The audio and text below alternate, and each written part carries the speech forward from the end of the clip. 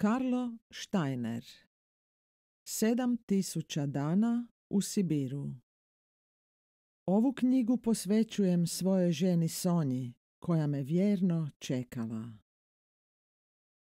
Predgovor. U tamnicama NKVD-a, u ledenoj pustinji dalekog sjevera, svugdje gdje su moje patnje prelazile ljudsku granicu i mjeru, nosio sam u sebi jednu jedinu želju, da sve to preživim i da čitavom svijetu, a prije svega partijskim drugovima i prijateljima, ispričam kakve smo strahote prepatili. Onog trenutka kad više nisam bio na dohvatu NKVD-a, stao sam se pripremati da ostvarim tu svoju zamisao.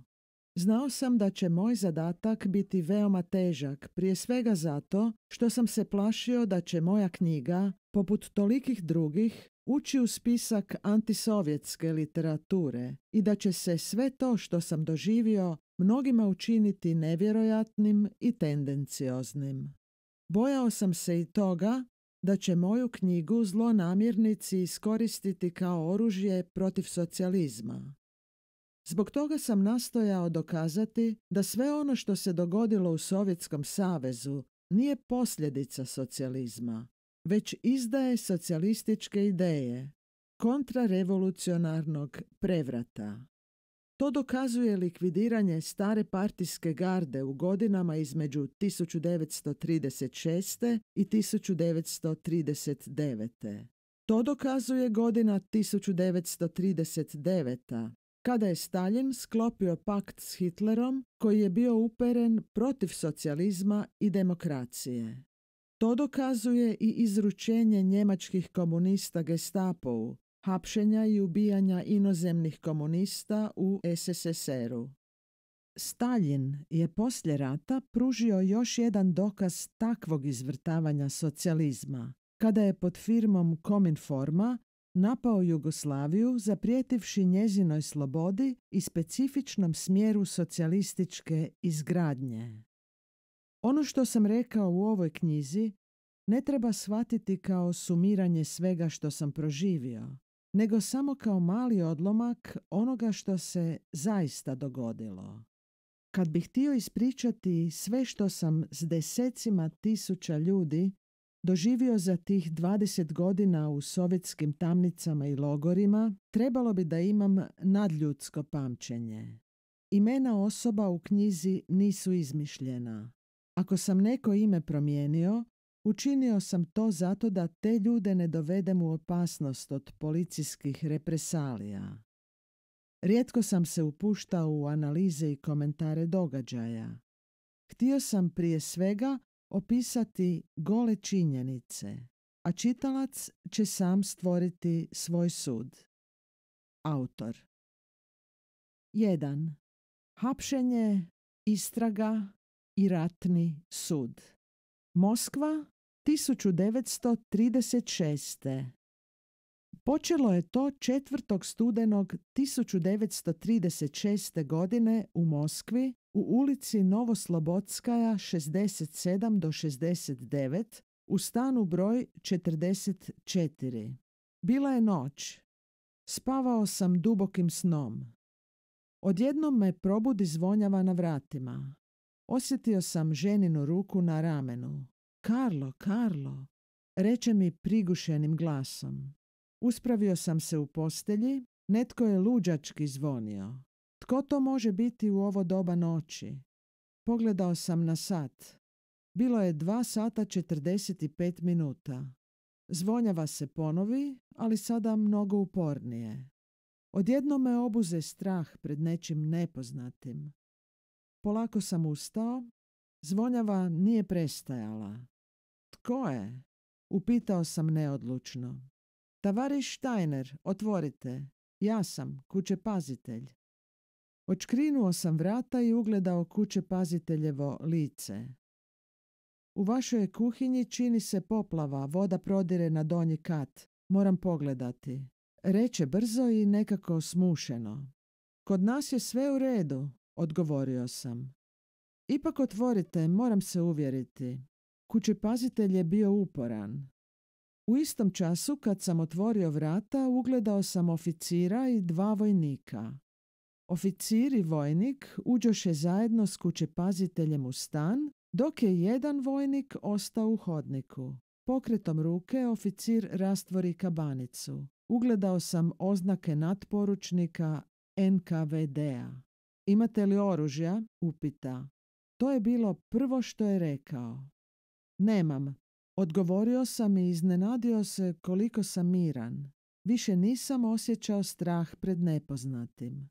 Opasnost je bila ovdje i sada je bila poznata. Oficir me pretraživao rutiniranim pokretima. Bio je to plavokos i vitak čovjek tridesetih godina. Njegovo seljačko lice nije odavalo nikakva osjećaja. Pružio mi je komadić papira i promatrao me kao što lovac promatra životinju koju je ulovio, samo s mnogo manje zanimanja. Očito se navikao, pomislio sam. Nalog za hapšenje. Reče grubo. Vratio sam mu papir, a on mi zapovjedi da sjednem i uputi se u drugu sobu. Tko je to? Upita pokazujući rukom na moju ženu koja je ležala u postelji. Moja žena. Ustanite, naredi oficir. Znate, moja je žena u posljednjim mjesecima trudnoće. Rekao sam oficiru. Molim vas, budite tako ljubazni i dopustite je da ostane u postelji. Ona se ne smije uzrujavati. Ustanite, ponovi oficir. Moja je žena ustala. Pokušao sam joj pomoći. Sjednite i ne mičite se. Prodere se oficir. Ali ja sam se pravio kao da ga nisam čuo. Prišao sam krevetu i pomogao ženi da se obuče. Oficir istovremeno priđe krevetu i stade pretresati svaki jastuk, svaku ponjavu i pokrivač, sve to baci na pod, a meni i ženi ponovno zapovjedi da se ne mičemo. Ispriturao je cijelu sobu. Dok je oficir pretraživao, vojnik nas je pažljivo promatrao. Pokušavao sam utješiti uplašenu i zdvojnu ženu, ali oficir mi zapovjedi da šutim. Pretres je trajao dva sata. Sve je pažljivo pregledao. Knjige na stranim jezicima stavio je u stranu. Kad je završio, naredi mi da se obučem. Žena je plakala, a ja sam je pokušavao utješiti. Što ćeš ponijeti? Upitala me. Ništa, što bih ponio? To je očita zabuna. Odmah ću se vratiti kući. Umirivao sam je. Naprijed. Poviće oficir i uputi se prema vratima. Pošao sam za njim. Vojnik me slijedio. Nisam se stigao oprostiti od žene. Čuo sam je kako plaće. U hodniku nam se priključi drugi vojnik. Pred vratima je stajao automobil. Ugurali su me unutra. S moje lijeve i desne strane sjeli su vojnici, a oficir se zavali kraj šofera. Vozi, zapovjedi. Auto je jurio ulicama Moskve koja je još spavala. Pokušavao sam shvatiti što se događa, ali ušima mi je još uvijek odjekivao ženin plać. Bilo mi je kao da se opraštam od života. Lubjanka, glavni štab NKVD-a. Nakon deset minuta vožnje kola se zaustave pred glavnom zgradom NKVD-a na Lubjanki. Otvore se velika vrata i auto zaokrene u dvorište. Iz automobila iskoči vojnik i naredi mi da izađem. Pogledao sam oko sebe. Nalazili smo se u uzanom dvorištu okruženom peterokatnicama. Prozori su bili okovani rešetkama. Gurnuli su me kroz otvorena vrata u prostoriju veliku pedesetak kvadratnih metara. Duž zidova su stajale klupe na kojima su sjedili muškarci i žene. Bilo ih je tridesetak. Pred njima su ležali svežnjevi sa stvarima. Gledali su prazno, neki su sjedili zatvorenih očiju. U prostoriji je vladala tišina koju je prekidalo jecanje mlade djevojke. Ponovo sam pomislio na svoju ženu. Svakih dvadeset minuta otvarala bi se vrata i vojnik bi nas prozivao po imenu. Nakon dva sata i ja sam došao na red. Odveli su me u susjednu prostoriju. Naokolo su stajale police, na njima poredani zamotuljci, koferi, košare i paketi. Za pultom je stajalo nekoliko uniformiranih NKVD-ovaca, muškaraca i žena, u bijelim bluzama. Prišao sam pultu, a jedan podoficir izvadi list papira i upita me kako se zovem. Odgovorio sam. Imate li novaca? Imate li kakvih vrijednih predmeta? Upita. Izvadio sam lisnicu i sat, prebrojio novac i pružio mu sve to. Nakon nekoliko minuta dao mi je dvije potvrde. Zatim su mi naredili da se svučem do gola. Kad su me pretražili, vratili su mi odjeću. Vojnik me odvede kroz nekoliko hodnika i stubišta u koridor s čitavim nizom vrata. Čuvar, koji je u ruci držao snop ključeva, otvori jedna i gurne me unutra. Našao sam se u zagušljivoj i smradnoj prostoriji. Na podu je ležalo tridesetak muškaraca, prostorija nije bila šira od tri metra i pet do šest metara dugačka. Neki su ležali zavijeni u svoje kabanice, neki su kabanice prebacili preko sebe da im se lice nije vidjelo. Podiglo se nekoliko glava, umorna izgleda. Čovjek s dugačkom plavom bradom napravio mi je malo mjesta i pozvao me da legnem kraj njega. Morao sam oprezno prilaziti da nekog ne zgazim. Jedva sam uspio doći do svog ležišta. Vi ste sigurno inostranac, to se vidi na vama, naši su nekako mnogo odlučniji. Rekao mi je plavobradi. Ništa nisam odgovorio. Vidio je da sam jako zbunjen i nadodao. Odmorite se, ujutro ćemo razgovarati. Upitao me koliko je sati. Slegao sam ramenima. Zašutio je i zaklopio oči. Pogledao sam oko sebe. Neki su spavali, a neki su me ispod oka promatrali. Ležao sam na golom podu u odjelu i kabanici. Bilo mi je hladno, iako je u sobi bilo zagušljivo i vruće. Tresao sam se. Pokušavao sam razmišljati. Što se to sa mnom događa? Što žele od mene? Dokle ću ostati ovdje? Što će biti sa ženom? Ona je u teškom položaju. Zar me netko prijavio? Koloplet misli bez određene polazne točke kružio je glavom kao vrtuljak. Zaklopio sam oči, pokušao sam zadrijemati, zaspati. Uzalud. Opet ista pitanja, naravno bez odgovora. Ono nekoliko sati do svanuća činilo mi se kao vrijeme koje vječno traje i ne možeš mu sagledati svršetak. Na jednom se napola otvore vrata i čuvar se prodere. U zahod. Zajedno sa svima izašao sam u hodnik, u prostoriju koja je imala nekoliko predjela. Jedni su čučali, drugi su se prali iz limenog umivaonika. Polio sam lice ledenom vodom. To mi je prijalo.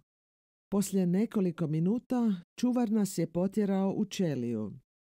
Oko mene skupili su se uhapšenici. Počelo je ispitivanje. Odgovarao sam nevoljko u pola rečenice. Kad su vidjeli da neću govoriti, neki su me počeli tješiti. Niste vi sami, zatvori su prepuni i mi ne znamo zašto sjedimo. Strpite se, doći ćete na red. Ponovo su se otvorila vrata i čuvar je na jednoj dasci unio 34 porcije crnog kruha, svaka porcija imala je pola kilograma i dvije kofe vruće vode. Uhapšenici su izvukli svoje aluminijske posude i bokalom napunili svoje posude vrućom vodom. Posudu nisam imao. Nije mi bilo ni do jela, ni do pila. Svaki čovjek podijelio je svoj kruh u dva, tri dijela, a kako noževa nije bilo, radili su to koncem. Primijetio sam kako požudno jedu kruh i zaljevaju vrućom vodom. a mrvice koje bi pale na pod brižljivo skupljaju i paze da im ni jedna ne padne iz usta. Jeli su u tišini, kao da je to obred. Preostali kruh ceremonijalno bi zamotali u krpicu ili kesicu, to su bile porcije za ručak i večeru. Moj bradati susjed upitao me zašto ne jedem. Nemam apetita, odgovorio sam. Moj kruh ležao je nedirnut. Jele su ga gladne oči. Ponudio sam ga svom susjedu, ali on mi je savjetovao da ga sačuvam, jer u zatvoru vlada velika glad. Jedva sam ga nagovorio da uzme polovicu. Zahvalio mi je i odmah ga pojao. Pričao mi je da su ga ovamo doveli iz Vladivostoka i da već četvrti mjesec čeka u sabačniku, psetarnik, izba za pse, da ga pozove istražni sudac. Uhapsili su ga prije devet mjeseci. Za revolucije 1917. do 1920. vodio je partizansku grupu protiv Japanaca na dalekom istoku. Poslije toga radio je u upravi industrije ribljih konzervi. A sad su ga optužili da sprema oružani ustanak protiv sovjetske vlasti i da je namjeravao daleko istočna područja Sovjetskog saveza priključiti Japanu. Prestrašio sam se kad sam čuo kakve je strašne stvari spremao ovaj čovjek, a eto, ja sad moram pored njega ležati i s njim razgovarati. Upitao sam ga kako se to moglo dogoditi da bivši revolucionar radi takve stvari. Nasmijao se glasno i rekao mi da on to ni u snu nije sanjao i da su optužbe izmišljotina NKVD-a. Njegova velika plava brada i široka pleća tresla su se od smijeha. Činilo mi se kao da se sama daleko istočna divlja priroda smije mojem pitanju. Gledao sam ga u čudu. Bradonja upita zašto me optužuju.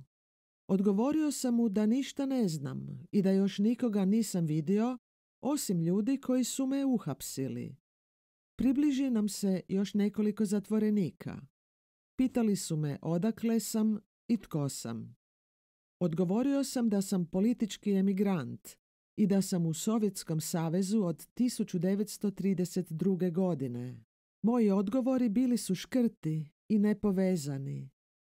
I dalje me mučilo samo jedno pitanje. Zašto sam ovdje? Možda je sve to samo ružan san. Razgovore nisam pravo ni čuo. Opodne smo dobili pola litre juhe s kupusom i malu žlicu graška. Juhu nisam mogao jesti. Oko šest sati ponovno smo dobili žlicu graška. U deset sati uveče tri puta se ugasilo i upalilo svjetlo. To je bio znak da je vrijeme spavanju. Zatvorenici su prostrli kabanice na pod i legli. Legao sam i ja. Bio sam umoran, ubrzo sam zadrijemao. Nisam dugo spavao, otvorila su se vrata i čuo sam kako jednog zatvorenika zovu na preslušavanje. Trebalo je dugo dok sam ponovno zaspao, a onda me netko probudio. Hajde na saslušanje, rekao je čuvar koji je stajao na vratima. Ustao sam, obuo cipele i izašao u hodnik gdje me čekala žena u NKVD-ovskoj uniformi. Bila je to mlada plavuša s baskijskom kapom na glavi i sovjetskom kokardom. U ruci je držala cedulju. Kako se zovete? Upitala me. Odgovorio sam. Naprijed. Nekoliko puta otvarale su se željezne rešetke. Pošli smo najprije na drugi kat, onda se spustili u dvorište, potom smo ušli u veliku zgradu i liftom se popeli na peti kat. Uvela me u veliku sobu. Za pisačim stolom sjedio je prosjet čovjek, osrednje visine, podrezanih crnih brkova, mogao je imati oko 40 godina. Nosio je uniformu kapetana NKVD. Moja pratilja pruži mu cedulju. Dok je potpisivao, ja sam stajao pored vrata. Pratilja je izašla iz sobe. Kapetan me nehajno pogleda, pokaza rukom na stolicu i reče Sjednite, zovem se Rjevzin. Bit ću vaš istražni sudac. Kako želite da govorimo, njemački ili ruski? Svejedno mi je. Odgovorio sam. Pružio mi je papir. Pročitajte to i potpišite. Uzeo sam papir i pročitao. Prvo, optuženi ste da pripadate kontrarevolucionarnoj organizaciji koja je ubila sekretara Centralnog komiteta Komunističke partije Sovjetskog saveza i sekretara Lenjingradskog oblasnog komiteta SM Kirova. I drugo, optuženi ste kao agent gestapoa. Smijao sam se čitajući. Nemojte se smijati, to je ozbiljna optužba, rekao je Rjevzin. Osjećao sam se dobro, bio sam raspoložen. Pa stvar je potpuno jasna, posrijedi je zabuna, s tim nemam nikakve veze, rekao sam samouvjereno i prirodno. Varate se, nije riječ o nikakvoj zabuni. Imamo dokaze i vi sve to morate iskreno priznati. Rekao je Rjevzin. Što vi to govorite, za Boga miloga? Ja sam potpuno nevin. Uvijek sam bio dobar komunist, a svoje partijske dužnosti ispunjavao sam bez posljednje misli. Rekao sam odlučno s namjerom da me shvati i uvidi zabunu. Danas više nećemo o tome razgovarati. Idite u čeliju, razmislite o svemu, sutra ćemo nastaviti. Ustao je. U istom trenutku pojavila se moja pratilja i odvela me natrag u čeliju. Čim su se zatvorila vrata čelije, zatvorenici su mi prišli zapitkujući me gdje sam bio. Rekao sam da me Rjevzin optužio. Nevjerojatno, sve je izmišljeno. Rekao sam povišenim glasom. Vi ste inostranac, znači špijun, rekoše mi neki. Ali ja s tim nemam, ama baš nikakve veze. A što mislite, da mi imamo veze s onim zbog čega nas optužuju? Vraga, o tome nikad nismo ni sanjali. Čuo sam nervozne i ljutite glasove. Čuvar je nekoliko puta udario ključevima po vratima, a to je značilo da prestanemo razgovarati. Legli smo na svoja mjesta. Nisam mogao spavati, stalno sam razmišljao o optužbi. Kako je to uopće moguće da sam upleten u takvu aferu? Što sve to znači?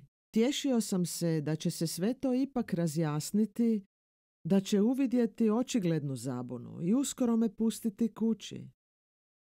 Počeo je novi dan. Podijelili su kruh, zatim juhu i grašak za ručak, uveče kašu. Cijeli dan smo razgovarali o mom noćnom saslušanju. Neki su iznosili svoje slučajeve i fantastične optužbe, a polovina uhapšenika nije uopće znala zašto je uhapšena. Mladi seoski momak optužen je kao terorist, jer je u svađi s predsjednikom kolhoza zaprijetio da će ga ubiti. Samo je jedan bio s nama koji je optužen da je vodio kontrarevolucionarne razgovore. Protiv njega je svjedočio njegov vlastiti brat, koji je na suočenju izjavio da on drugačije ne može da radi jer NKVD od njega traži istinu. Poslije sam doznao da je tog čovjeka zvao se Smirnov, osudila trojka na osam godina logora. Trojka je bila komisija NKVD koja je osuđivala administrativnim putem one koji nisu dolazili pred sud. Dani su prolazili. Nitko me nije zvao na saslušanje. Premjestili su me u drugu čeliju, na peti kat, koja se razlikovala od sabačnika utoliko što su u njoj bili željezni kreveti, slamarice, jastuk i krevetsko rublje. To je bila samica, ali u nju su smjestili tri kreveta. Pod su obojili tako da je bio neugodno čist. Četiri dana bio sam potpuno sam. Peti dan došla su još dvojica. Napokon, četrnestog dana, pozvali su me na drugo preslušavanje. Istražni sudac Rijevzin ispričao se što me ranije nije pozvao, ali neka oprostim, on ima mnogo posla i sigurno će me sutra preslušati. To je bilo sve što mi je rekao. Nikakvo pitanje nije postavio. Sjetio sam se što su mi pričali stari zatvorenici u sabačniku. To je uobičajena praksa NKVD-a. Pozovu te i obećaju da ćete sutra preslušati, ali to naravno ne urade, nego te puste da čekaš. Tako drže u napetosti i iščekivanju. Upoznao sam se sa svojim novim drugovima u Čeliji. Larionov, visok krupan čovjek, upravljao je kemijskom tvornicom u Kemerovu, na Uralu. Stari član partije. Optužili su ga zbog štetočinstva u poduzeću kojim je upravljao. Kleo mi se da je sve to izmišljeno i da nikakav protokol neće potpisati. Jedne noći Larionova su odveli da bi ga tek nakon pet dana vratili. Pet dana i pet noći morao je stajati u kutu i samo je jedanput dnevno dobio malo juhe i kruha. Taj snažni čovjek, koji je za građanskog rata bio na strani crvenih i prošao sve ratne nevolje i teškoće, nije mogao izdržati te muke i potpisao je sve što su od njega tražili. Nakon tri tjedna izveli su ga iz čelije i ja ga više nikada nisam vidio. Ljude bi obično saslušavali noću. Jedne noći izveli su i Goldmana. Vratio se u čeliju u četiri sata ujutro. Slomljenih rebara. Goldman je bio lični sekretar Rikova, kada je bio predsjednik Sovjeta narodnih komesara. Tražili su od njega da prizna kako ga je njegov šef Rikov zavrbovao kao agenta gestapoa. Ništa nije htio priznati niti potpisati. Ležao je i stenjao od subote do ponedjeljka. Tek je u ponedjeljak ujutro došao liječnik i upitao ga što mu je. Prostenjao je. Ti psi, prokleti psi. Nakon dva sata došli su čuvari s nosiljkom i odnijeli ga. Ostao sam sam u tjesnom prostoru sa svojim mislima i pitanjima. Kako, zašto, dokle će to trajati, što radi Sonja, znade li zašto me optužuju. Kao vrtuljak okretale su se uvijek iste misli. Sljedećih dana došla su u moju čeliju trojica. Jedan znanac iz Sabačnika, a druga dvojica bili su tek uhapšeni. Šab je bio porijeklom Njemac, Moskovljanin. Radio je 50 godina u iste trgovini oružja na Kuznjeckom mostu. Sada je imao 65. Dva dana poslije hapšenja doznao je da je agent gestapoa. Zdvojan i nesretan starac uopće nije mogao shvatiti optužbu, nije mogao srediti misli. Zaklinjao mi se da je potpuno nevin. Molio me da ga savjetujem što da radi, kako bi opovrgao ovu čudovišnu optužbu. Što sam mogao uraditi? Kakav savjet da mu dam? I samom mi je bio potreban savjet. Starog šaba preslušavali su jednom prilikom 48 sati. Istražni sudac, mlad, golobrad i ambiciozan deran, psovao je starca na najodvratniji način.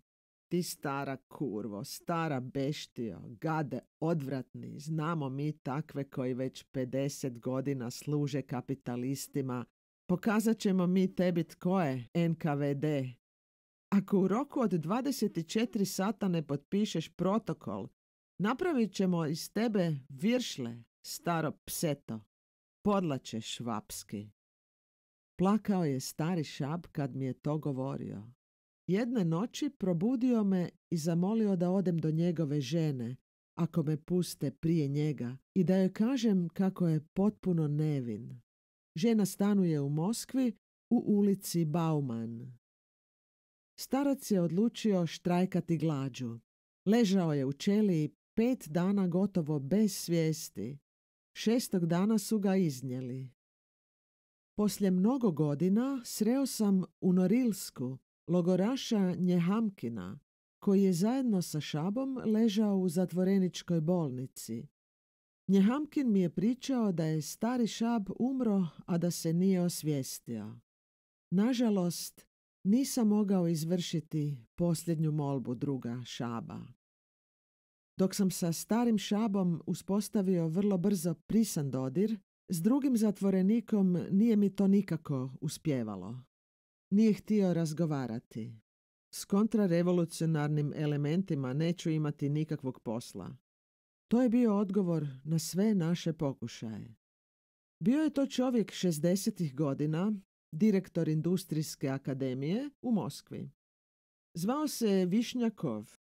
Jednog dana pričao sam mu o sebi da sam komunist i član partije od 1919. da sam zbog komunističke djelatnosti bio u raznim zatvorima Europe i da sam eto sada optužen kao špijun, terorist i diverzant. NKVD ne hapsi nevine ljude. Odgovorio mi je stari Višnjakov. Pa dobro, a zašto su vas uhapsili? Upitao sam ga. To je zabuna, nesporazum. Odgovorio je kratko i okrenuo mi leđa. Jednog dana posjetio nas je zatvorski činovnik u bijelom mantilu.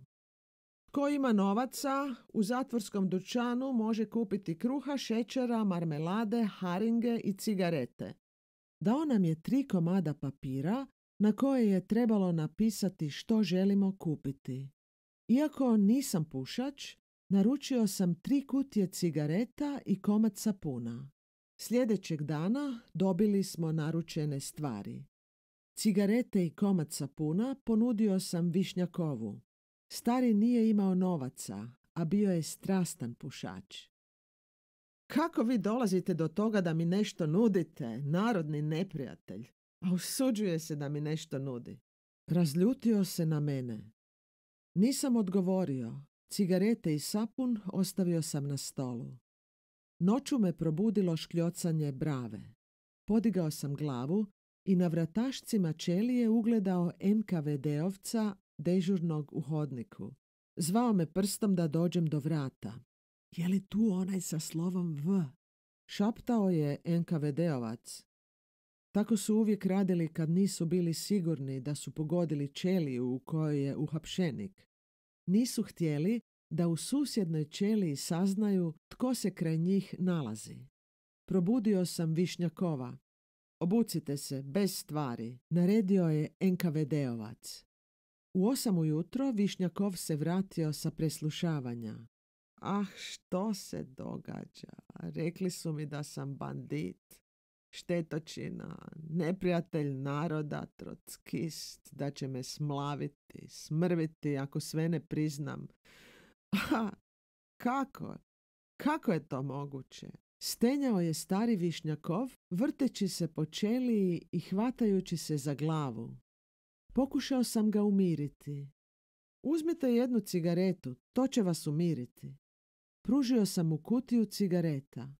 Stari je uzeo cigaretu i zaplakao. Zatim je pošao prema vratima i stao da udara po njima. Došao je čuvar. Dajte mi papir i tinte.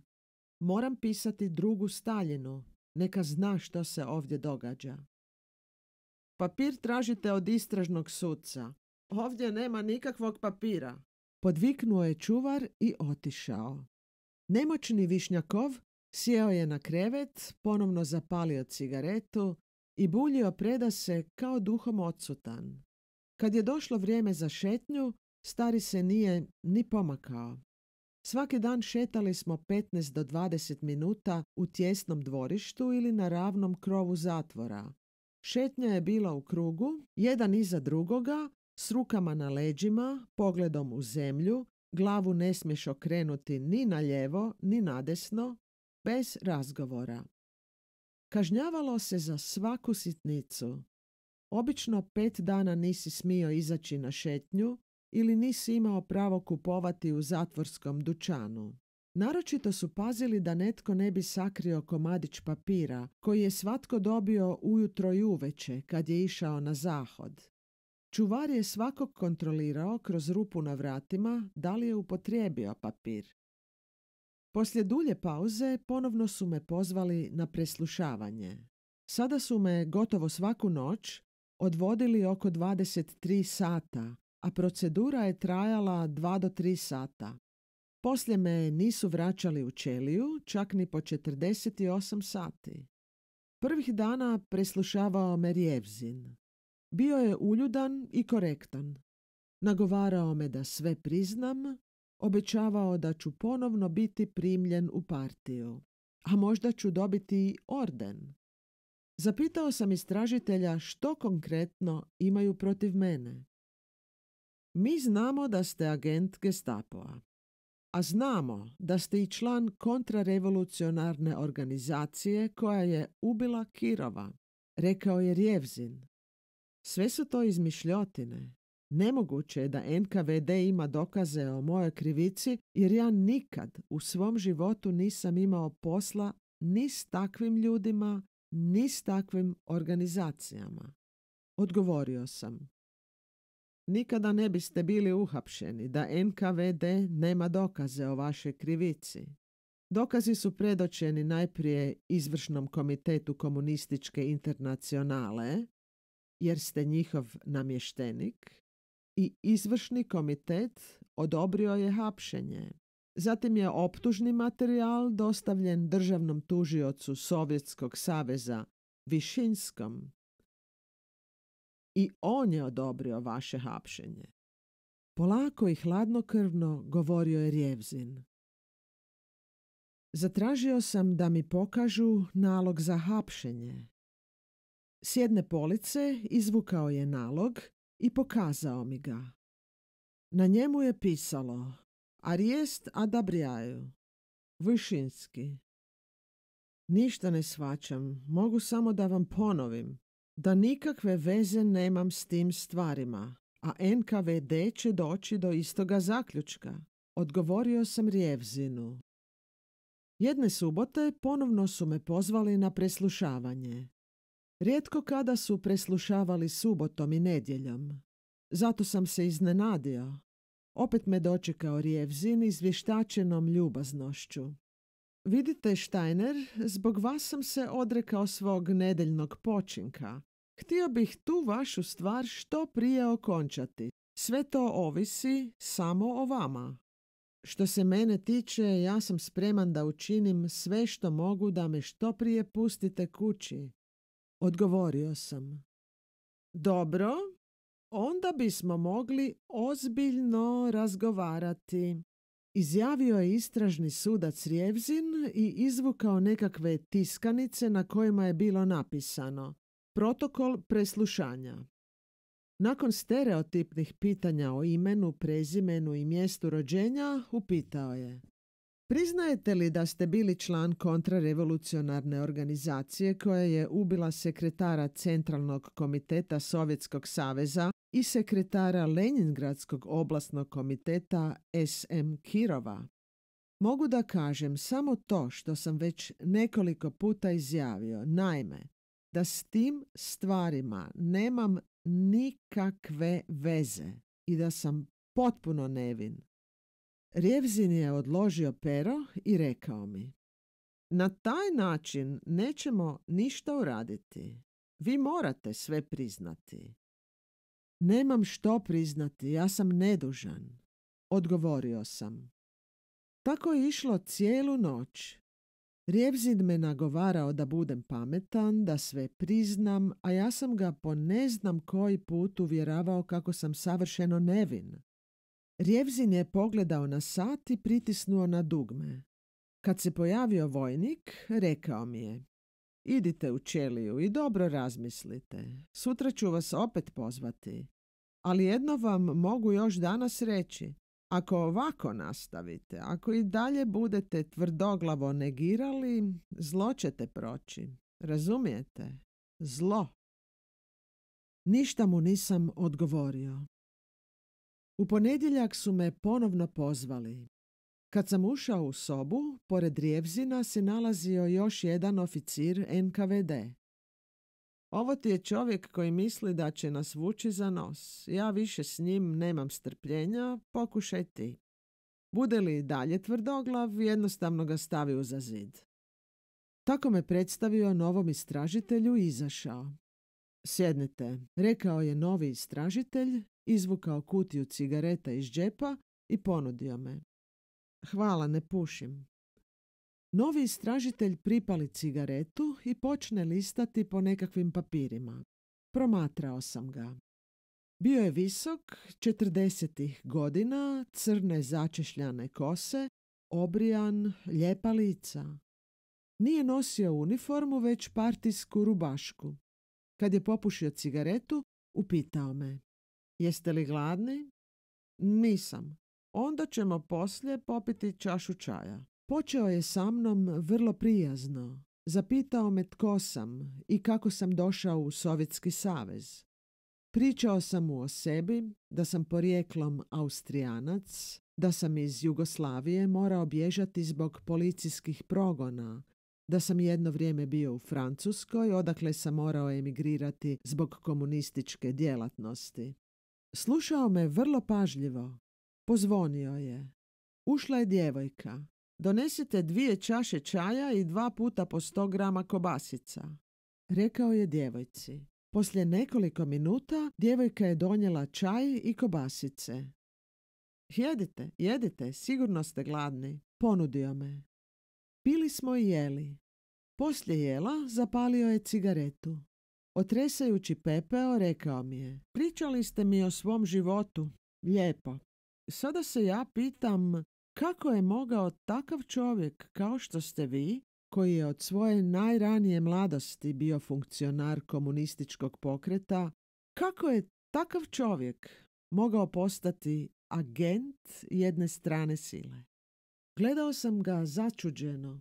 Vi ste pametan čovjek, slušajte što ću vam savjetovati. Priznajte mi sve lijepo i recite tko vas je zavrbovao, kakve ste zadatke dobili, koga ste vi zavrbovali, kakve ste zadatke tim ljudima dali. Potpuno sam nevin, nitko me nije zavrbovao, niti sam ja bilo koga zavrbovao. Odgovorio sam. Na te moje riječi istražitelj je skočio i dreknuo. Poznajete li Ajmikea? Da, odgovorio sam. Pričajte mi gdje ste upoznali Ajmikea. Sjedio sam sa znancem u moskovskoj kavani Metropolj. Počeo sam se prisjećati poznanstva s Ajmikeom. To je bilo 1934. godine. K našem stolu prišao je čovjek i pozdravio se s mojim poznanikom. Pošto smo se upoznali, sjeo je k nama. Iz razgovora kod stola doznao sam da Ajmike ima u Berlinu radnju sa životinjama i u Sovjetski savez šalje divlje životinje iz tropskih zemalja, a u zamjenu dobiva životinje iz dalekog sjevera. Poslije sam ga na ulici vidio dva puta, pozdravili smo se, ali ništa nismo razgovarali. To je sve. Lažete, Dokazat ću vam da ste s Ajmikeom bili nekoliko puta u istoj hotelskoj sobi i on vam je tamo davao špijunske zadatke. Sad mi je jasno da je sve izmišljeno. Meni je poznato da sve hotelske goste u Metropolju nadzire NKVD. Prema tome, NKVD-u je sigurno poznato da ja s Ajmikeom nikada nisam bio u hotelskoj sobi. Istražitelj je pobjesnio, skočio, lupio šakom o stol, prevrnuo tintarnicu i razbio čašu od čaja. Tek sada vidim s kim imam posla. Pa vi ste opasan čovjek. Što vi mislite? Pred kime vi stojite? Mislite da stojite pred austrijskom policijom? Brzo će vas NKVD naučiti pameti. Urlao je. Molim vas, Naredite da me odmah odvedu u čeliju. Ne dopuštam da me tretirate kao psa i da me mučite. Odgovorio sam i ustao. Istražitelj je pomahnitao. sjednite na svoje mjesto i da se niste pomakli bez moje zapovjedi. Uostalom, što ja s vama raspravljam? Stanite licem prema zidu. Ustao sam i postavio se licem prema zidu. Tako sam stajao dva sata. Zatim mi je naredio da sjednem. Uzeo je papir i počeo pisati protokol saslušanja. U zapisniku je bilo sve što sam već rekao. Ista pitanja, isti odgovori, s tom razlikom što je ovaj istražitelj pokušao netočno interpretirati moje odgovore. Poslije dugog natezanja ipak je pristao da napiše onako kako sam zahtijevao. Čitava dva tjedna, gotovo svakoga dana, zvali su me i preslušavali, ali u osnovi ništa se nije izmijenilo. Ista pitanja, isti odgovori. Prilikom jednog preslušavanja činilo mi se da je moj istražitelj Gruševski malo bolje volje. Zato sam ga zapitao kako je moje ženi. Mi pratimo svaki korak vaše žene i mogu vam reći da se ona vrlo dobro osjeća. Odmah poslije vašeg hapšenja našla je druge i s njima je spavala. Odgovorio mi je cinično. Bio sam izvan sebe kad sam to čuo. Toliko sam se razbjesnio da sam zaboravio gdje se nalazim. Derao sam se na njega i psovao ga. Kojim pravom govorite tako o moje ženi? To su fašističke metode. Danas neću progovoriti niti jednu jedinu riječ. Toliko sam se derao da je iz susjedne sobe došao drugi oficir da vidi što se događa. Kad sam se umirio, rekao sam mu. Moja žena nalazi se pred porodom i vjerojatno je u rodilištu. Razumljivo je što sam uzbuđen i što želim saznati kako joj je. Vjerovao sam da imam posla s čovjekom, ali bio sam tako glup pa sam mislio da ćete barem na trenutak zaboraviti da sam uhapšenik i da ćete mi ljudski odgovoriti na pitanje. Sada vidim da sam se prevario. Gruševski se ponašao tako kao da se ništa nije dogodilo. Obećao mi je da će se interesirati kako je moje ženi i da će mi to sutra saopćiti. Vratio me u čeliju. Kad su se zatvorila vrata čelije, zaplakao sam kao dijete. Bio je to grčevit plać, prvi u mom životu. Ostali zatvorenici nisu bili iznenađeni kad sam im pričao što se dogodilo. Oni su vrlo dobro poznavali metode NKVD-a, koji nije prezao ni od kakvih sredstava da demoralizira. Poslije osam dana pozvali su me u zatvorsku kancelariju i saopćili mi da je moja žena rodila kćerku i da se obje dobro osjećaju. Bio sam sretan Pogotovo zato što sam na taj način doznao da žena nije uhapšena.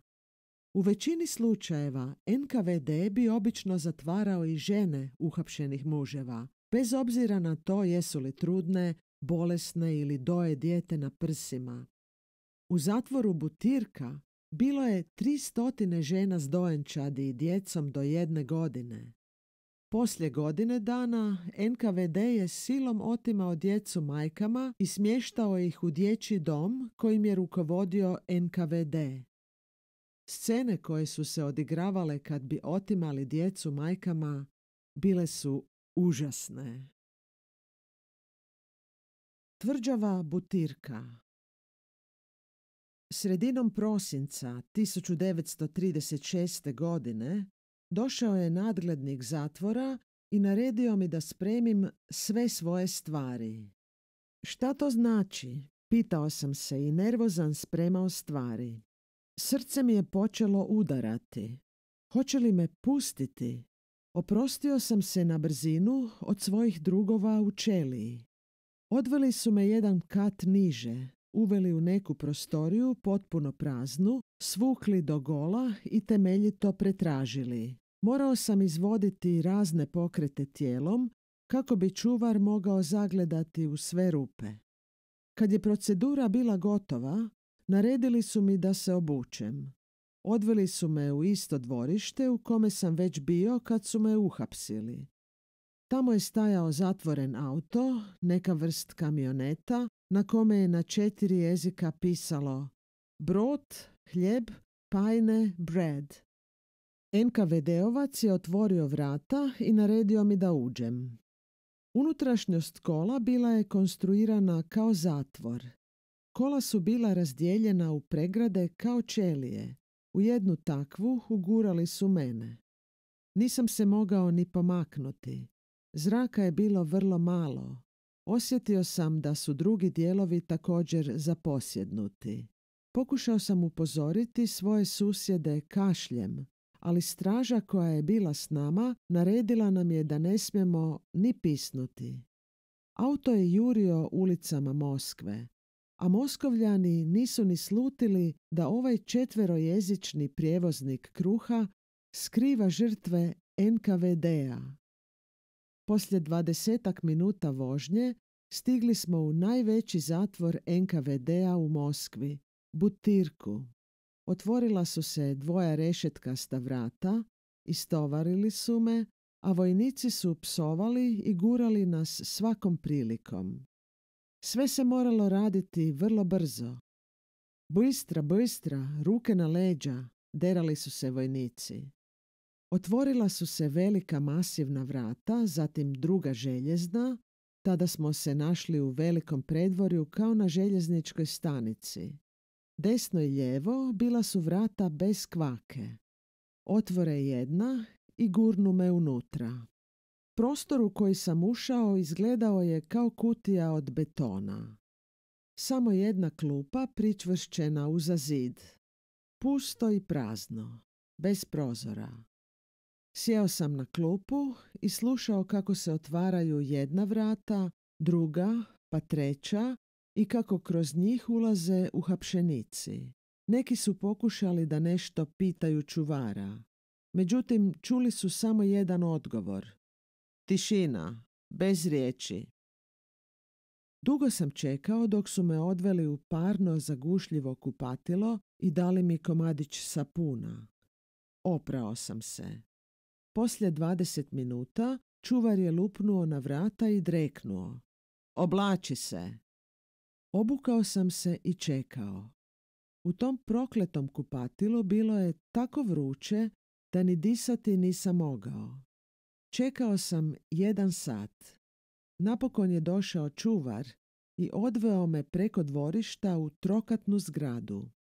Na prvom katu zaustavili smo se pred čelijom broj 61.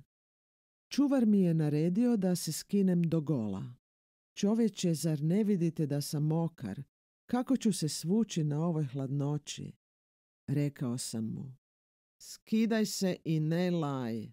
Dreknuo je i počeo s mene trgati odjeću. Detaljno je pretražio i odjelo i rublje. Sve to trajalo je 25 minuta. Stajao sam potpuno gol u hodniku. Kamen je bio strahovito hladan.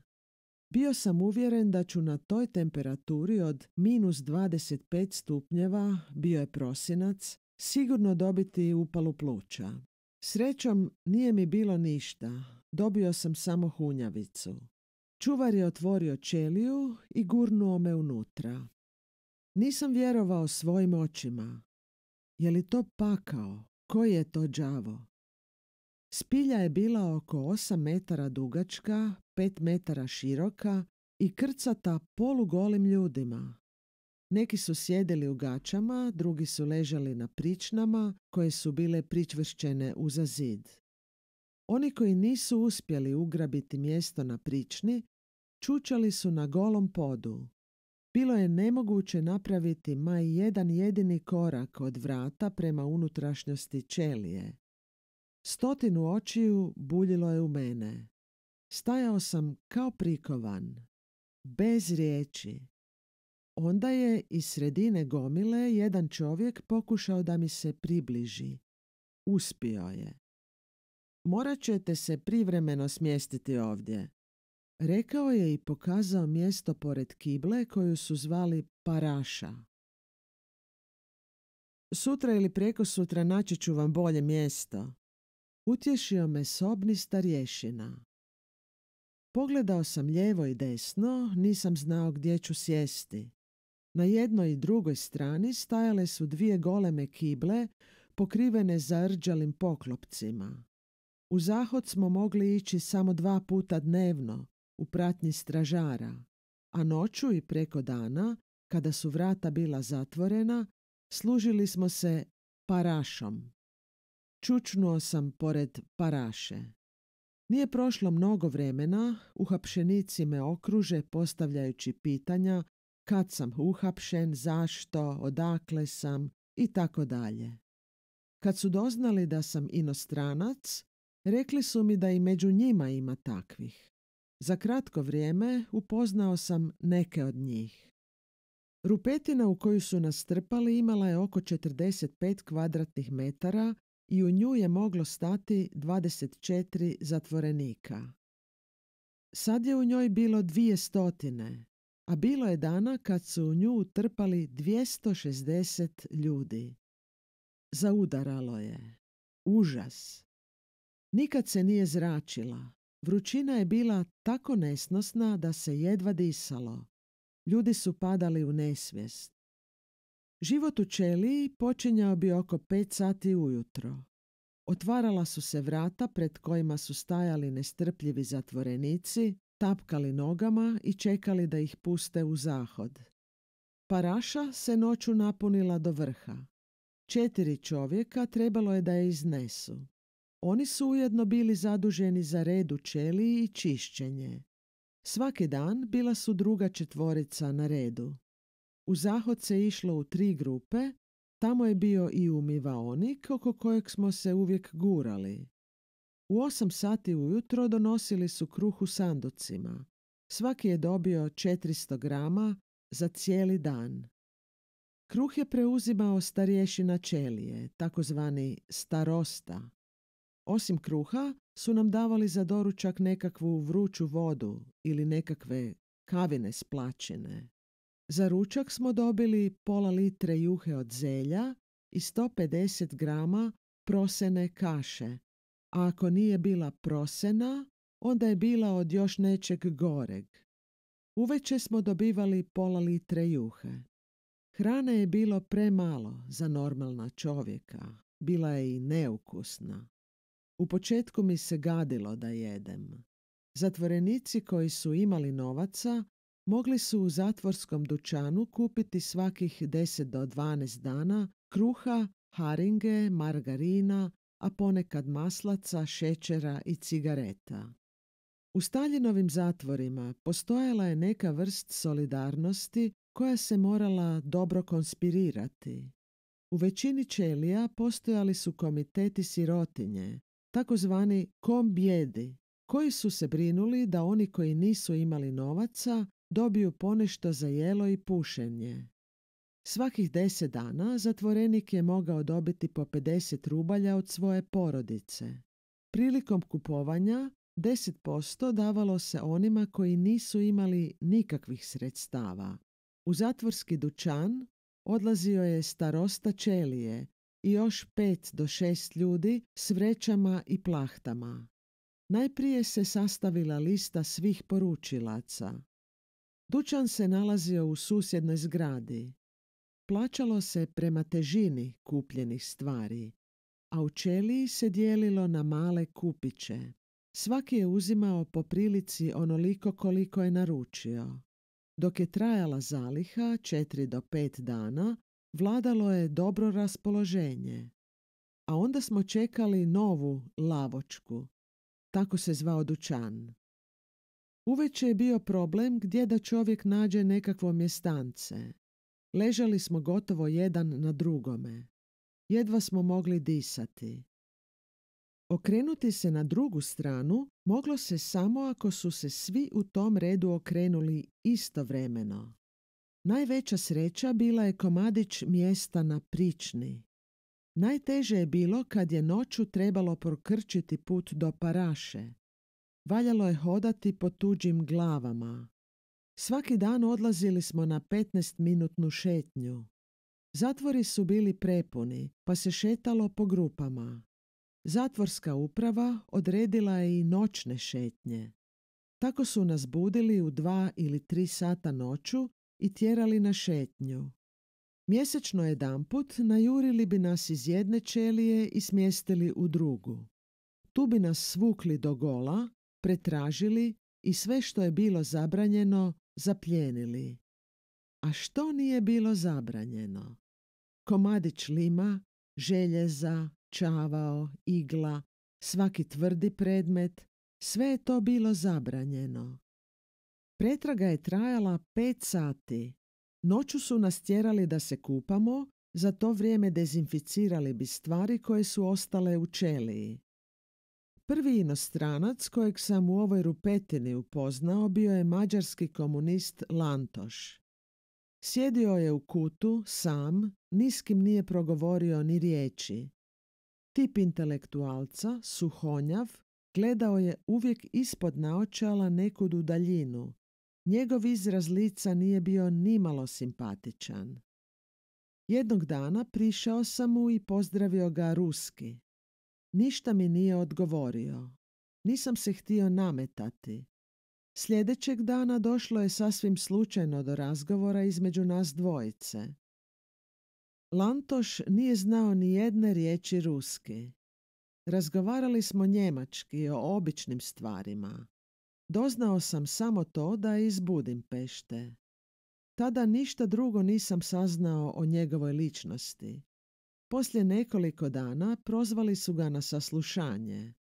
Poveli su ga noću, a vratio se drugi dan poslje podne. Nikom ništa nije govorio. U Čeliji su znali da ga NKVD-ovci tuku.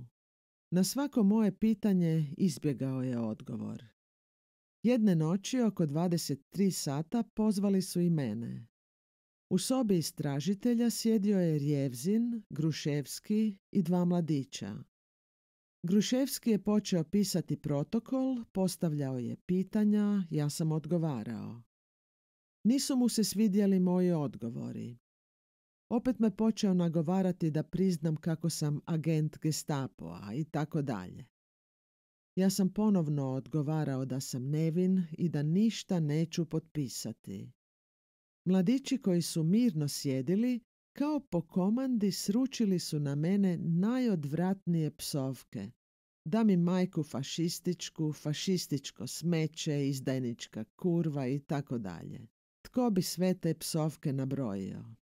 Istovremeno su počeli trgati odjeću s mene. Sluteći što mi se sprema, obratio sam se Rjevzinu. Dopustite mi da još jedan dan razmislim.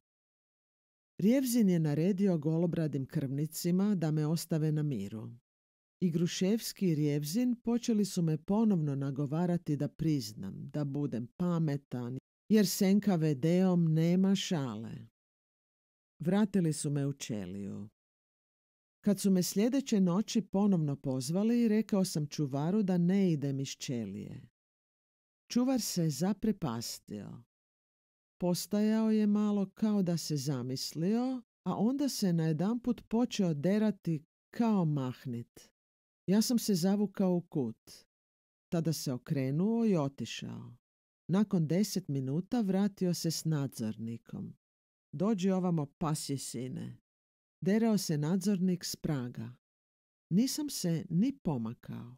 Nadzornik je prijetio i psovao.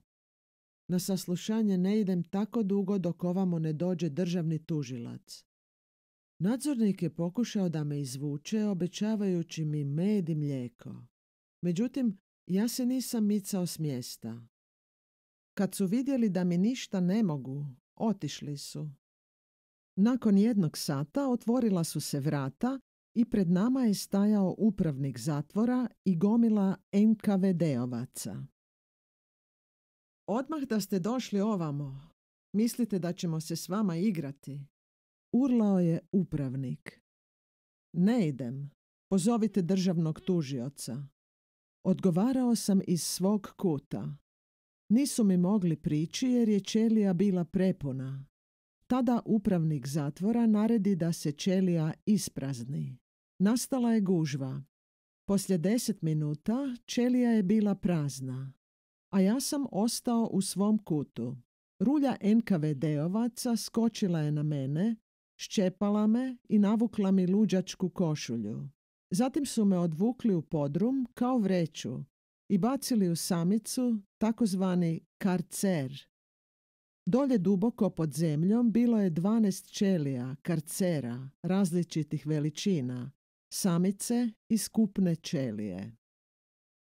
Bacili su me u samicu, ali kako su zatvori bili prepuni, u njoj su već bila četiri čovjeka. Na jednoj uskoj prični, koja je bila prikovana uza zid, teškom mukom spavala su dvojica. Ostali su morali ležati na podu. Iznad vrata gorjela je dan i noć električna sijalica. U usporedbi s onom spiljom, ovdje je bilo sasvim ugodno. Ako ništa drugo, čovjek se mogao okrenuti i zakoraknuti dva metra. Do paraše u kutu, pa natrag. Jedan lonac tople vode i 300 grama kruha. Glad i strašna hladnoća. Poslije pet dana odveli su me u čeliju broj 61. Kad sam se vratio u svoju staru čeliju, Lantoš me upitao zašto ja, kao komunist, priređujem teškoće zatvorskoj upravi. Rekao sam da se u komunističkoj Rusiji čovjek i u zatvoru mora vladati kao komunist. Kad netko prema meni upotrebljava fašističke metode, ja ću se braniti koliko je to u zatvoru uopće moguće. Odgovorio sam. Na te riječi Lantoš je počeo raspredati teoriju kako komunisti treba da se žrtvuju kad to od njih traži partija. Ništa nisam razumio od te njegove teorije. Kakve bi koristi imao radnički pokret od toga što bih ja priznao nešto što nisam uradio, što nije istina? Ako pak ne bih priznao, onda bih, po njegovom mišljenju, trebao da dopustim da me namrtvo isprebijaju. Lantoševu besmislicu nisam mogao prihvatiti. Napokon je počeo govoriti o sebi. Bio je sekretar zabranjene komunističke partije Mađarske. Dvije godine živio je ilegalno u Budimpešti i rukovodio mađarskim komunističkim pokretom. U rukovodstvu se formirala opoziciona grupa koja se nije slagala s Lantoševim radom. Umjesto da rade među ljudima i da ih organiziraju, oni su dane i noći proveli u ilegalnim stanovima diskutirajući i citirajući Marksa i Lenjina. Kad se nikako nisu mogli složiti, zatražili su pomoć od najviše instance, izvršnog komiteta komunističke internacionale u Moskvi. Predstavnik Mađarske u komunističkoj internacionali bio je Bela Kun, nekadašnji predsjednik Sovjeta narodnih komesara u vrijeme Mađarske sovjetske republike. Bela Kun proglasi Lantoša frakcionašem i naredi mu da dođe u Moskvu. Lantoš je poslušno doputovao u Moskvu. U tamnicu. Batinali su ga, bacali u karcer, psovali, nagovarali. Napokon je potpisao da se po nalogu Hortijeve vlade uvukao u komunističku partiju, da je špionirao, da je organizirao štetočinski rad u partiji, da je poštene komuniste predavao Hortijevoj policiji. Sve je to Lantoš priznao i potpisao. Pitao sam ga ima li barem zrno istine u svemu tome što je potpisao. Sve je to laž što sam izjavio i potpisao. Ona druga grupa koja me optužila u Budimpešti u službi je policije i Hortija. Ali komunisti se moraju žrtvovati. Nisam prihvatio takvu žrtvujuću disciplinu. Nikako nisam mogao izaći na kraj s Lantoševim neljudskim, lažno-komunističkim teorijama. Dosadilo mi je. Zanimljiv slučaj bio je mesar Miška, kome nikako nisam mogao ustanoviti nacionalnost. Govorio je vrlo dobro rumunjski, mađarski, ukrajinski i jidiš.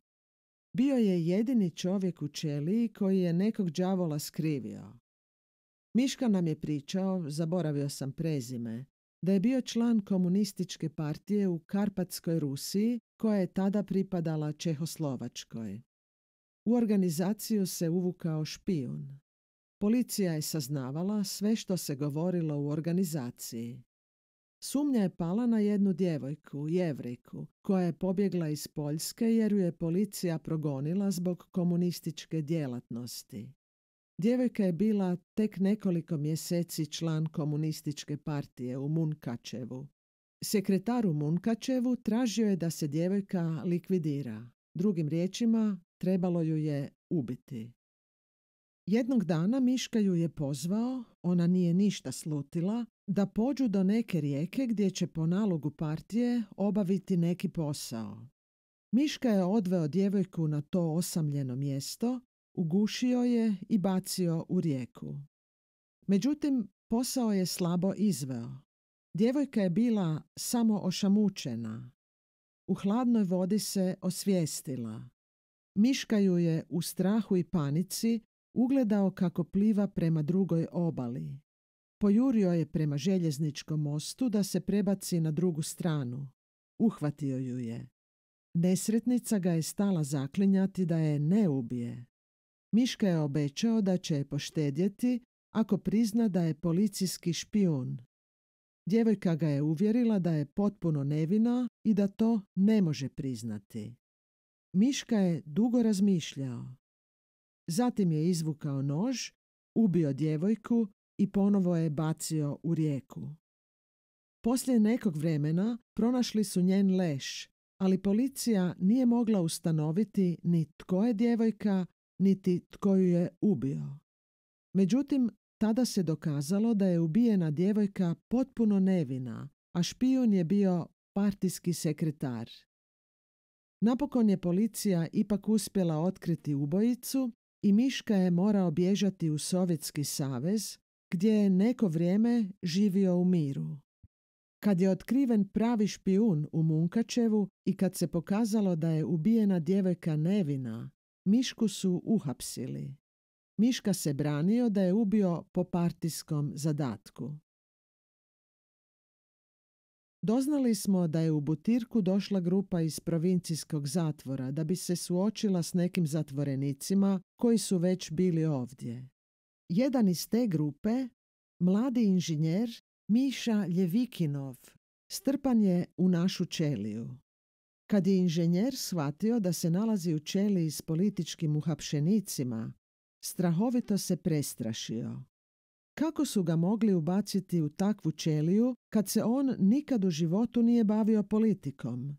Njega zanima samo njegov posao i njegova obitelj. Ima mladu ženu i malog sinčića. Satima je pričao o svojoj ženi i dvogodišnjem dječaku. Njegova žena ne zna da je uhapšen jer je bio na službenom putovanju i trebao se za pet dana vratiti na posao. Pisao je da će se vratiti u subotu. Sada ga čekaju na stanici, a njega nema. Šta će žena misliti? Žena ga strašno voli. Miša se nada da će se stvar do subote potpuno razjasniti i da će na vrijeme stići kući. Prošlo je nekoliko dana i, naravno, Mišu nitko ne zove, niti ga tko šta pita. Došla je i subota, kad je trebao biti kod kuće, a on još uvijek ne zna zašto su ga uopće uhapsili. Upitao sam ga je li možda s nekim razgovarao i nešto opsovao. Dugo je razmišljao, ali ničeg se nije mogao sjetiti.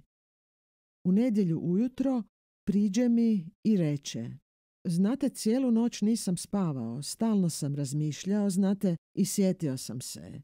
Jedanput sam opsovao, zato što su mi poslali loš izolacioni materijal. Možda su me zato uhapsili. Može li se zato uhapsiti? Gledao me očekujući da ću mu nešto odgovoriti. A što ja znam zašto se sve hapsi? Slegao sam ramenima. Napokon su ga pozvali na saslušanje. Nakon dva sata vratio se u čeliju. Bio je bljed. Nije progovorio ni riječi. Vrtio se po čeliji. Zatim je sjeo u kut i zaplakao. Prišao sam mu da ga umirim. Počeo je ridati. Čuli su se povici. Baba, što cmizdriš, ne budi slabić. Kad se umirio, ispričao mi je kako ga je dočekao istražitelj. Ti si lukava i podmukla trockistička zmija. Priznaj trockističku djelatnost, podlače, nitkove, pasi sine, huljo. Poslije bujice psovki, istražitelj mu je rekao neka se predomisli i sve prizna. Ako bude poricao, uhapsit će njegovu ženu, a njegov dječak će postati besprizorni. Očajanje mišino bilo je bezgranično. Nije jeo, noću je jecao, za četrnaest dana izgledao je kao haringa. Prosto je okopnio. Stalno je razmišljao, ali ništa nije shvaćao. Jedne noći, bilo je vrijeme spavanja i već smo poljegali, otvorila su se vratašca na vratima čelije i čuvar je tiho pozvao. Ljevikinov! Bljedi prestrašen, Miša je skočio sa svog mjesta. Šta je, šta je, o čemu se radi? Povikao je. Pripremite se za saslušanje, rekao je čuvar. Miša se obukao i pošao prema vratima. Vojnik ga je otpratio. Vratio se rano ujutro. Na stolu ga je čekao kruh i kipjatok, vruća voda. Miša nije htio jesti, popio je samo dvije šolje kipjatoka. Nitko se nije usudio da ga bilo što upita. Poslije izvjesnog vremena sam je počeo pričati što je sve doživio na saslušanju. Sad nam ispričajte sve o svom kontrarevolucionarnom trockističkom radu. Tim riječima dočekao me istražitelj. Pričao sam mu kako sam živio i što sam sve radio za slobodnog vremena. Istražitelj me slušao i nije me prekidao. Kad sam svršio, upitao me, jeste li vi bili član komsomola? Odgovorio sam mu da sam kao sasvim mlad čovjek bio član komunističke omladine. E kad je tako, kažite vi nama tko su članovi trockističke organizacije. Ja sam se začudio i rekao mu da to nije bila trockistička organizacija i da je već deset godina prošlo i da se ne mogu sjetiti ni jednog imena, ni jednog komsomolca. Šta? Ti trockističko pseto? Proderao se istražitelj na mene. Ili ćeš odmah reći imena tih bandita ili ću od tebe napraviti kašu. Kleo sam se svime na svijetu da nikada nisam bio trockist i da se ne mogu sjetiti ni jednog imena. Istražitelj je onda uzeo nekakvu cedulju i pročitao mi nekoliko imena. Tek tada sam se sjetio ljudi u organizaciji. A vidiš, pasi sine, sjećaš se imena. A sada ćeš se sjetiti kako ste hvalili Trockog. Nikako se nisam mogao sjetiti. Onda je istražitelj pozvao u sobu nekakve ljude, njih četvoricu, koji su mi u lice rekli da sam glasao za nekakvu rezoluciju u obranu Trockoga. Rekao sam mu da sam ja tada, kao i većina mojih drugova, glasao za nekakvu rezoluciju, ali da nemam nikakve veze s trockistima. Istražitelj je sastavio zapisnik koji sam potpisao da nisam bio član trockističke organizacije. Eto, tako je bilo na mom saslušanju. Poslije šest tjedana odveli su ga iz čelije. Nakon nekoliko dana, kad su nas odveli u kupaonicu, našli smo na zapis Miša Ljevikinov, deset godina logora. Kada su me ponovno jednog dana pozvali na saslušanje, u kancelariji sam zatekao samo Gruševskog. Dočekao me smiješeći se. Upitao me zašto sam odbio da dođem na saslušanje. Uvjeravao me kako nitko nije imao namjeru da mi učini nešto nažao. Pitao sam ga zašto su me onda počeli svlačiti. Na to je on odgovorio da su ta dva mladića liječnici i da su me htjeli svući i pregledati. Kad je to govorio, nije mi gledao u oči, već je tobože prelistavao nekakve spise. Onda je ustao, prošetao sobom i ponovno počeo dokazivati kako je glupo što neću priznati i da će to moje tvrdokorno odbijanje da potpišem zapisnik svršiti vrlo loše. Možete vi mene sjeći u komade, ali lažan zapisnik ja potpisati neću. Odbrusio sam. To vam neće pomoći. Hoćete li potpisati ili nećete, iz zatvora se izvući ne možete. Ako potpišete, bit će vam lakše. A ako ne potpišete, čeka vas težak život u logoru. Uvjeravao me Gruševski. Gruševski je u tome bio u pravu. To što nisam htio potpisati lažan zapisnik, teško mi se osvetilo u zatvorima i u logorima. Savjetujem vam da se predomislite. Vi ne znate što vas čeka. Ponovio je nekoliko puta. Znao sam da NKVD nema skrupula i nikakvih obzira i da upotrebljava najstrašnije i najsvirepije metode kako bi žrtva priznala i potpisala. Važno je da se potpiše. Moskovski inženjer Varabjov, s kojim sam ležao na iste prični u čeli broj 61, pričao mi je na kakav su ga način prisilili da potpiše zapisnik. Varabjov, partijac, službeno je otputovao u Englesku kao član komisije koja je kupovala tvorničke strojeve. Kad se vratio, uhapsili su ga kao štetočinu. Tražili su da prizna kako je namjerno kupovao takve strojeve koji nisu odgovarali postrojenjima, pa je na taj način htio spriječiti izgradnju socijalizma. Naravno, on je sve to radio na račun engleske buržuazije, koja želi po svaku cijenu spriječiti industrializaciju SSSR-a. Varabjov je energično odbio da prizna i potpiše takvu glupost. Jedne noći, kao i obično, odveli su ga na saslušanje. Poslije dva sata vratio se slomljen i očajan. Čovjek ga nije mogao prepoznati. U tome času od njega se nije moglo ništa doznati. Odgovorio je. Sve sam priznao i potpisao. Tek sljedećeg dana ispričao nam je kako je došlo do priznanja. Kao i obično, uveli su me u sobu istražitelja. Postavio mi je pitanje jesam li se odlučio da priznam, a ja sam mu odgovorio da nikakav zločin nisam počinio, te prema tome nemam što priznati.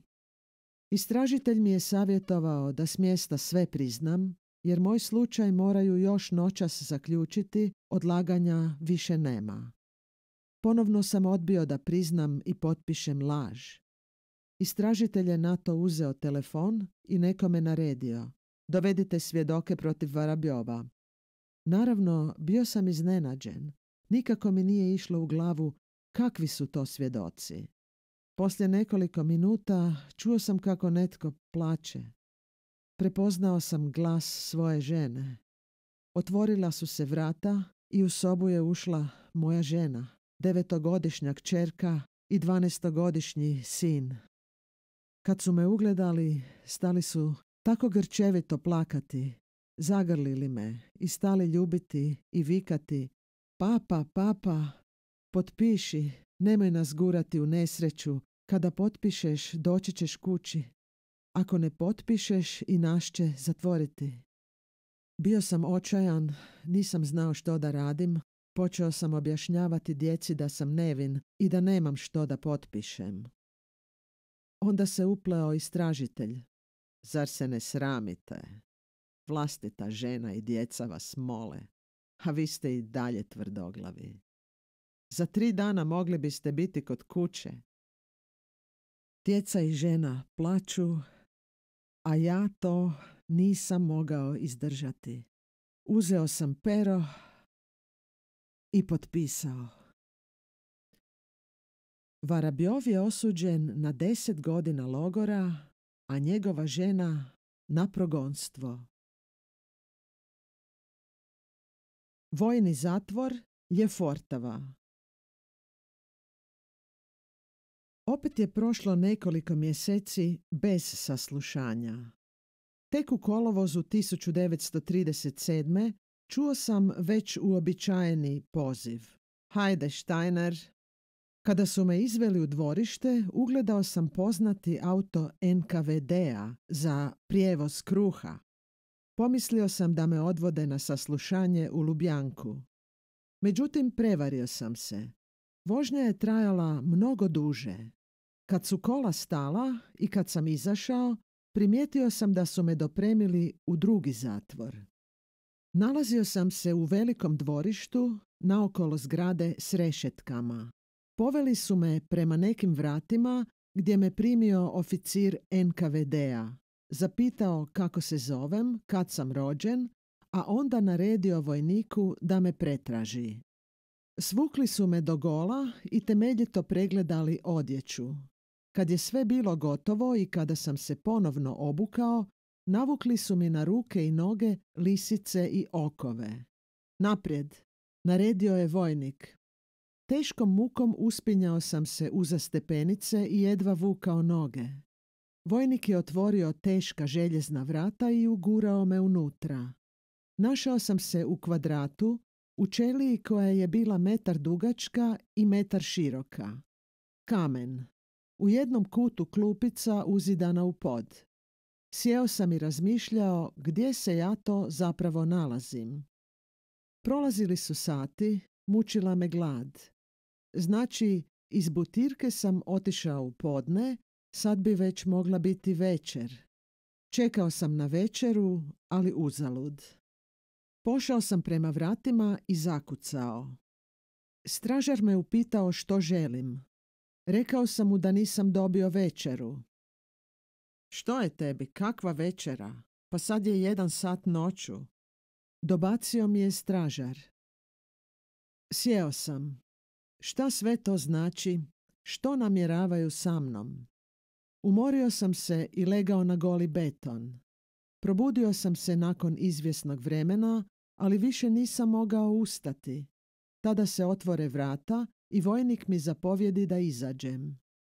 Skupio sam svu snagu i pokušao se dignuti, ali nisam mogao ni da se pomaknem.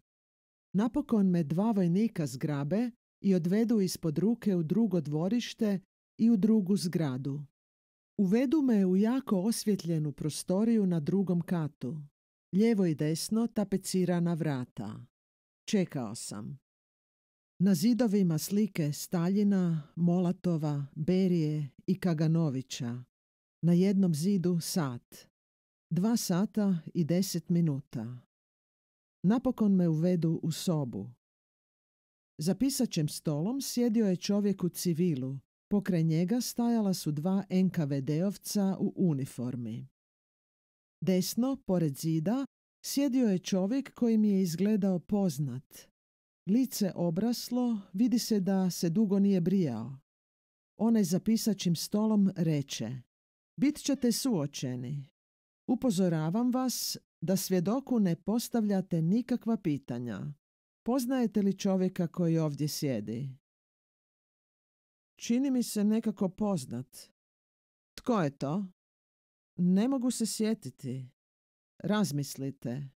Razmišljao sam, ali nikako se nisam mogao sjetiti od kuda poznajem tog čovjeka. Onda se istražitelj obrati svjedoku. A vi, poznajete li vi ovog čovjeka? Da. Tko je to? To je Steiner. Odakle poznajete Steinera? Sa Steinerom me upoznao Ajmike. Tko je Ajmike? Zapitao je istražitelj čudnovatog svjedoka. Ajmike je glavni agent Gestapoa u SSSR-u. Što znate o Steineru? Ajmike mi je pričao da je i Steiner agent Gestapoa. Šta kažete na to, Steiner? Ovaj čovjek ili je luđak ili je provokator, eto to mislim. Odgovorio sam, a istražitelj je na to skočio i navalio na mene bujicom najodvratnijih psovki, udarajući me svom snagom pesnicama po licu.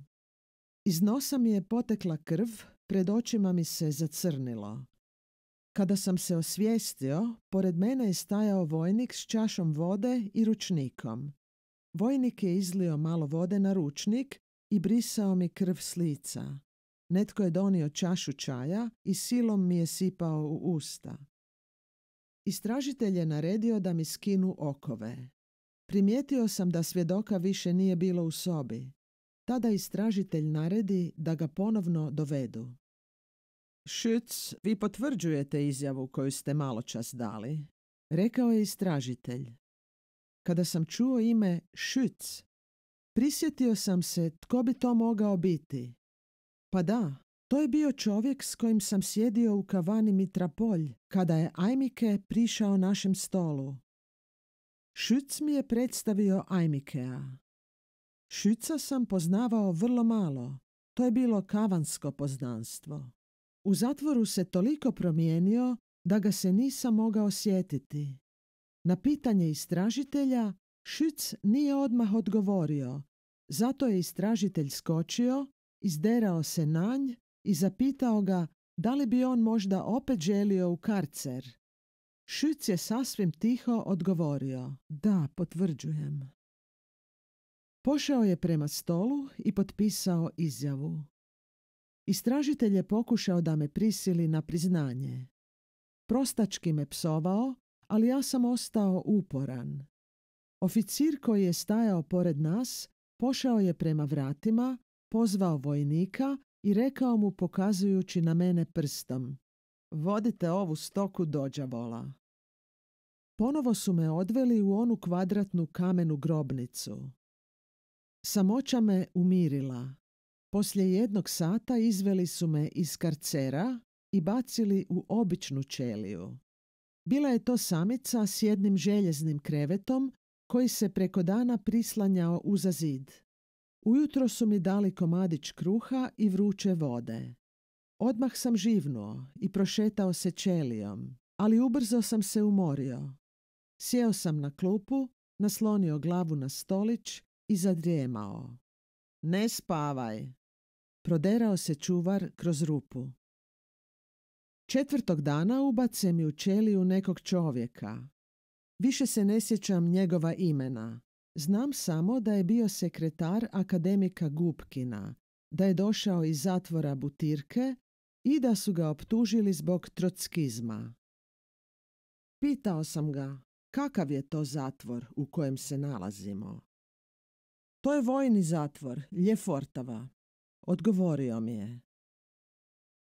U Ljefortovu sam proveo dva tjedna. To je bio pakao. Svake noći čuli su se jezivi jauci i užasna dernjava. Na jednoj strani hodnika bile su kancelarije za istražitelje, na drugoj čelije. Samo u ovom zatvoru vidio sam takav raspored. I čelije i prostorije za istražitelje u istom hodniku. Čovjek nije imao ni sekunde mira.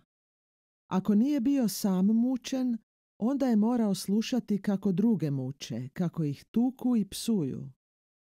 To su bile neizrecive patnje. Pogotovo je to bilo teško kada su saslušavali žene. A one su obično bile zatvorene zato što su supruge svojih zatvorenih muževa. Šta sve nisu upotrebljavali? I batine i najodvratnije psovke i odvratna mučenja kako bi ih prisilili da terete svoje muževe. Žene koje su živjele 20 godina sa svojim muževima hapsili su zato što su podržavale vezu s narodnim neprijateljima. Za te veze osuđivane su na 10 i 15 godina logora u Sibiru. Njihova djeca obično bi svršavala u domovima NKVD-a. Ni rođaci, ni bilo tko drugi nije se usudio prihvatiti tu djecu jer je prijetila opasnost da budu uhapšeni zbog veze s narodnim neprijateljem. Opet su me odveli istom istražitelju koji mi je postavljao isto pitanje. Jesam li se odlučio potpisati zapisnik? Na to njegovo pitanje odgovarao sam da sam nevin. Istražitelju je dosadilo da sa mnom dalje razgovara. Rekao mi je da mi daje 15 minuta vremena. Ako za 15 minuta ne potpišem zapisnik, streljat će me. Odvedu me u ćeliju koja se nalazila preko puta istražiteljeve kancelarije. Prošlo je 15 minuta. Dovedu me pred istražitelja. Šta je, hoćete li potpisati? Razmislio sam. Bolje je da umrem nego da potpišem laž. Odgovorio sam. Istražitelj je izvadio sat i pogledao me. Dajem vam još pet minuta vremena. Šutio sam. Istražitelj je pritisnuo na dugme. Ušao je vojnik. Recite poručniku neka dođe. Ušao je oficir. Evo vam ovog ovdje. Likvidirajte ga. Poručnik mi je prišao, svukao me do gola, odjeću bacio u kut, podigao telefonsku slušalicu i naredio. Neka dođu dva čovjeka s punom spremom, treći kat, soba 314. Došla su dva vojnika s bajunetama. Počeo sam drhtati. Niz čelo mi je potekao hladan znoj. Vojnici me postave u sredinu. Poručnik naredi. Naprijed. Nisam se mogao ni pomaknuti. Gurali su me kroz hodnike u podrum. U susret je išao neki oficir i tobože zapitao kamo me vode. Poručnik je stao i raportirao. Na streljanje. Vratite ga. Još ćemo jedanput pokušati. Zapovjedi oficir. Vrate me u čeliju. Moja odjeća već je bila unutra. Legao sam na krevet, pokrio se, ali nikako se nisam mogao ugrijati. Cvokotao sam zubima i drhtao kao u groznici. Dugo sam se tresao. Napokon sam zaspao. Poslije tri dana pozvao me upravnik zatvora, predao mi nekakvu tiskanicu otkucanu na pisaćem stroju i pozvao me da pročitam i potpišem. Čitam. Optužnica. Iz pouzdanih izvora NKVD SSSR-a je saznao da je političkog emigranta Karla Steinera zavrbovao gestapo da se bavio špijunažom i da je spremao diverzantske akcije. U tu svrhu okrivljeni Karlo Steiner povezao se s mnogim inostranim i sovjetskim građanima. Karlo Steiner pripadao je organizaciji koja je ubila SM Kirova. Unatoč upornom negiranju okrivljenog, njegov je zločin dokazan izjavama svjedoka. Na osnovu citiranog, okrivljeni se optužuje po paragrafu 58, točka 6, 8 i 9. Na osnovu zakona od 1. prosinca 1935. okrivljeni se predaje Vojnom kolegijumu Vrhovnog suda SSSR-a. Vrhovni državni tužilac Višinski. Pred vojnim sudom Dakle, riješio sam se svih iluzija da ću biti pušten na slobodu. Primio sam optužnicu. Sada mi je bilo jasno. Onaj koji je uhapšen, unaprijed je kriv. To je glavni i neopozivi princip NKVD-a. Suđenje je formalnost. Obmana i ništa više. Noću 6. rujna 1937. Ponovno su me bacili u kamenu grobnicu u kojoj sam ostao dva dana. Dva put dnevno dobivao sam po 400 grama kruha i lonac vruće vode. U 23 sata noću došli su po mene vojnici i odveli me u prostoriju od 30 kvadratnih metara. Stol je bio presvučen zelenom čohom. U sobi nije bilo nikoga osim vojnika i mene. Narede mi da sjednem. Tada upadne oficir i izdere se. Ustajte, dolazi sud. U sobu su ušli viši oficiri i sjeli za zeleni stol. Za jednim stolićem sjedio je mladi čovjek u uniformi, sekretar suda. Počelo je suđenje. Oficir koji je sjedio u sredini rekao je Počinje pretres vojnog kolegijuma SSSR protiv Karla Steinera koji je optužen zbog zločina koji se prema krivičnom zakoniku kažnjavaju paragrafom 58, točka 6, 8 i 9. Optuženi, ustanite. Osjećate li se krivim? Ne, ja sam potpuno nevin. Kako ste došli u Rusiju? Zapita me predsjednik suda. Nisam progovorio ni dvadeset riječi, a predsjednik me prekida. Budite kraći. Pokušao sam nastaviti, ali predsjednik me ponovno prekida. Želite li pri kraju rasprave nešto reći? Tek što sam počeo govoriti, predsjednik me opet prekida. To sve znamo, dosta. Predsjednik je okrenuo glavu naljevo i nadesno, šapnuo nešto desnom i ljevom oficiru, oni su ustali i izašli. Vojnik mi je naredio da ponovno sjednem. Nije prošlo mnogo vremena, a sudci su se vratili. Odjek zapovjed ustaj. Predsjednik je s nekakve ceduljice čitao nešto od čega sam razumio jedino osudu. Glasila je deset godina strogog zatvora. Suđenje nije trajalo ni dvadeset minuta. Nije bilo ni državnog tužioca, niti odbrane. U istom hodniku gdje je bila sudnica, vojnik je otvorio vrata jedne čelije i gurnuo me unutra. Našao sam se u čeliji osuđenih koji su istog dana, istom procedurom osuđeni kao i ja. Bilo je tu osamnestoro ljudi. Njihovo suđenje trajalo je nešto manje od četiri sata. Bilo je radnika, seljaka, tehničke inteligencije, partijskih funkcionara. Našao se tu i direktor cirkusa. Kada sam ušao u čeliju, nitko me nije pitao na koliko sam godina osuđen. To su svi znali. Nitko me nije pitao kako je tekla rasprava i kakvo je obrazloženje presude. To je kod svih bilo na dlaku jednako. Osude su bile unaprijed napisane na pisaćem stroju. Ostao je samo prazan prostor da se ispiše ime. Nitko nije tražio da dobije osudu napismeno. To nije imalo nikakvog smisla. U osudi je jasno pisalo da pravo žalbe ne postoji. Nitko se nikome ne može žaliti. O pomilovanju ni govora. Takvo je bilo zakonodavstvo Staljina i njegovih najbližih suradnika, Višinskog, Smirnova, Urliha, Matuljevića i sličnih.